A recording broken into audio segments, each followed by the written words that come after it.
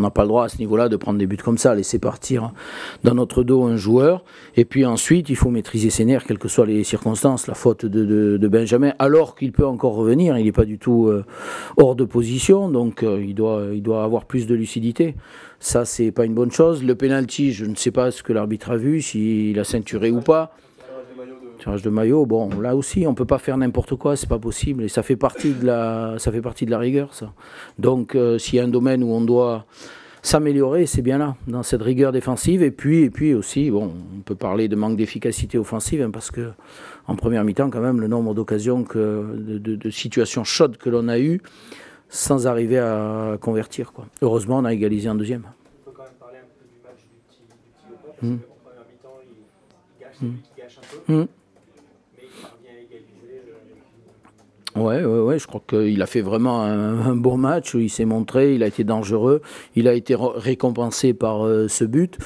Après, ben, il en a manqué aussi en première mi-temps, mais bon, c'est un gamin de 18 ans, il est en apprentissage, donc euh, s'il y en a un pour lequel on doit avoir de l'indulgence, c'est bien lui. Quoi. Quoi son véritable poste Il a commencé un peu sur un côté avant de, avant de revenir et prendre la place de celui dans l'axe? Oui. Il est plus à l'aise dans l'axe, non? Oui, oui, son poste de prédilection, c'est plutôt dans l'axe, mais ouais, il a joué à droite, il a joué à gauche, il ne se pose pas de questions. Et, c'est ce qu'on recherche, quoi, de la part d'un jeune comme ça, beaucoup d'enthousiasme, beaucoup d'envie. Après, qu'il fasse des erreurs techniques ou des erreurs, bon, ça, c'est pas, c'est pas grave. Il y a eu vraiment un peu ce, déséquilibre dans l'équipe, c'est-à-dire mm. beaucoup d'enthousiasme offensif et, mm. derrière, euh, cette espèce de, mm. fébrilité, de, oui.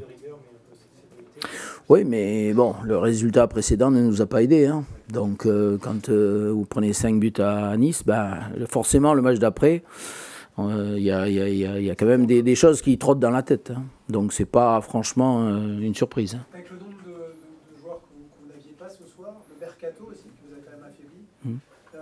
ce résultat-là, quand même, ça, ça ça, Valenciennes oui, ça prouve que, que même si on a des absents, même si euh, on est dans une période un peu agitée, c'est un fait, ben, quand on a des valeurs de, générosité, d'envie, de solidarité sur le terrain, euh, si on s'appuie sur un collectif, on, est capable de faire un bon résultat.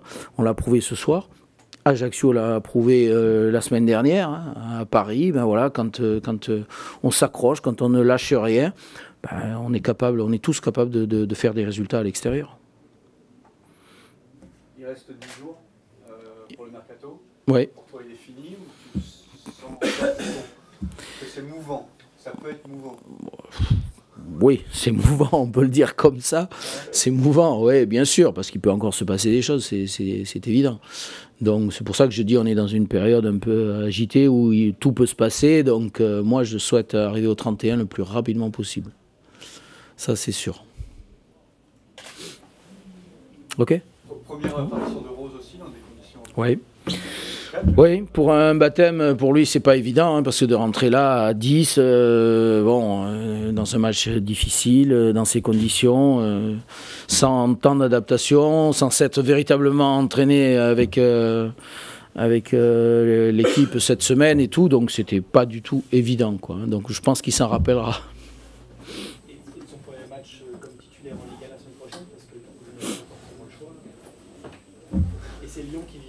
Merci de me donner le conseil.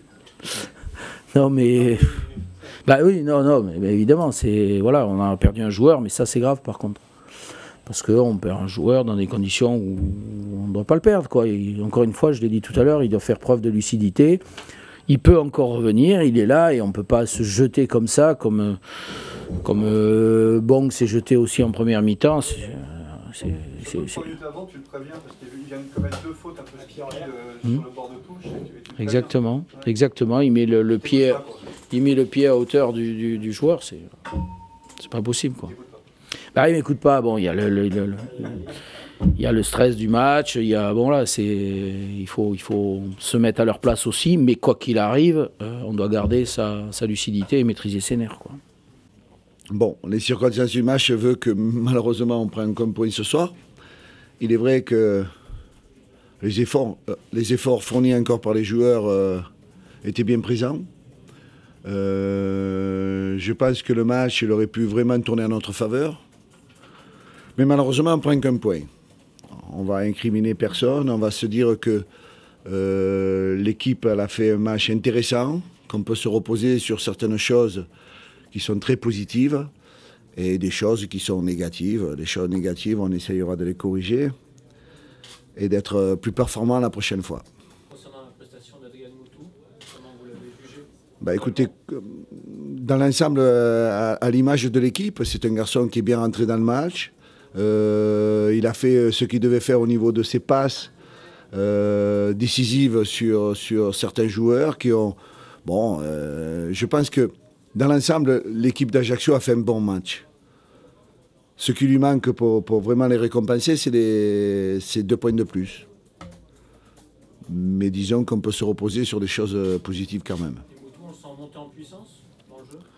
Moi, il me semble que ce soir, bon, euh, l'analyse, je ne peux pas vous la faire euh, énormément euh, et rapidement, parce que moi, j'ai besoin de temps, de réflexion. Donc, à partir de là, je vous la ferai peut-être dans la semaine.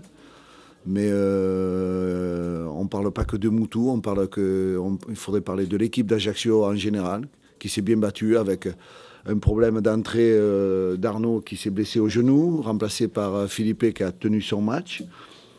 Donc euh, il y a du temps de jeu pour tout le monde, euh, tout le monde prend plus ou moins du plaisir, mais ce soir ils sont déçus euh, pour les deux points perdus. Euh, ça, bon, le, le bilan, le bilan médical, on fera lundi. hein. Non, je ne pense pas que ce soit très grave. Votre projet de jeu, c'était un bloc assez bas et de sortir euh, sur, des- sur- sur un jeu assez direct? Nous, on avait, nous on, a, on, a- on a- on avait une stratégie de jeu assez directe, c'est vrai, mais au sol, avec euh, des joueurs qui partent de derrière, surtout dans les intervalles de cette équipe de Valenciennes, ce qui s'est produit en première mi-temps. En deuxième, peut-être un peu moins, on l'a moins fait, mais à chaque fois, on, a été là devant le but. Malheureusement, comme je vous dis, après, euh, c'est comme ça. Mais je pense que les joueurs ont, avaient bien compris le, système de jeu mis en place. Et on avait, on avait une possibilité à chaque fois de ressortir le ballon. Et c'est vrai que cette équipe, elle est quand même assez dangereuse, avec euh, des joueurs de côté qui sont rapides, des joueurs assez, assez physiques et assez athlétiques. Mais nous, on les a gênés par notre vitesse de jeu.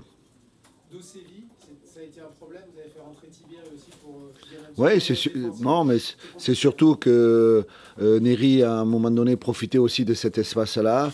Ben, il fallait bloquer le côté gauche.